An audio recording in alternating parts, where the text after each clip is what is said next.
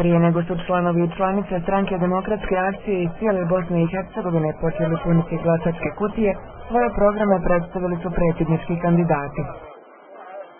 Za Bakira Izetbegovića SDA je najjači faktor integracije zemlje. Smatra da se upravo zato mora modernizirati i u vremenu duboke krize donijeti promjene. Pitanje šta je SDA? Čija je SDA? I ona muslimanska, bošnjačka, bošnjanska i lebrovska stranka. Trebamo odgovoriti da je ona sve to u isti ima. I da niti jedan od navedenih elemenata, činilaca ne smije potiskivati druga tri.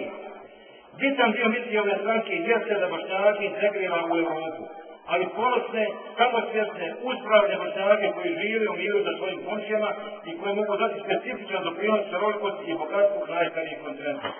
Predsjednički kandidat Adnan Terzić kazao je da se stranka mora riješiti sujeta, neznanja i loših kadrova. Naglasio je da su pojedinci iz stranke odgovorni za produbljivanje ekonomske krize, bezočno trošenje javnih sredstava, kolaps javnih fondova i loše odnose sa islamskom zajednicom u Bosni i Hercegovini.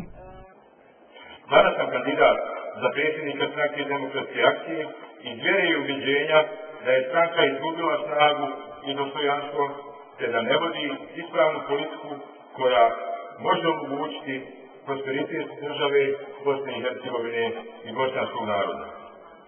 Zapamtite da ste danas na to bili upozoreni.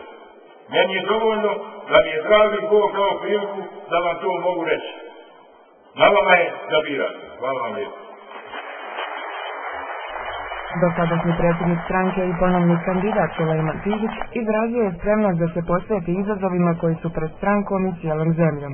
Kazao je da su sve oči uprte u put koji se na ovom kongresu bira. Isključivost, etnička i vjerska izolacija ili dijalog i kompromis u izgradnji Bosne i Hercegovine. Kompromisa se ne treba bojati, već moći snagi da se do njega dođe.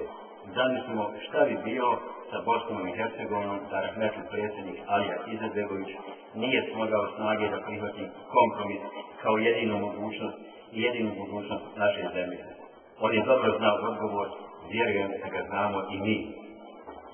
Iskreno sam uvjeren, dame i gospodo, poštovani delegati, da će stranka demokratske akcije i posle ovog kongresa jedinstvena, da će biti još jača, da će biti još snažnija, da će biti sa još većom demokratijom, jer sa SDA jača je i BiH. Prije nego što su donijeli odluku da još jedan predsjednički mandat povjere Sulejmanu Tihiću, učesnici i učesnice kongresa usvojili su niz dokumenata u kojima se između ostalog navodi da je neophodno što prije reformirati ustav, ekonomski osnažiti zemlju, zbrinuti ugrožene kategorije stanovništva te obrazovati mlade. Iz Sarajeva za glas Amerike, Elvira Jahić.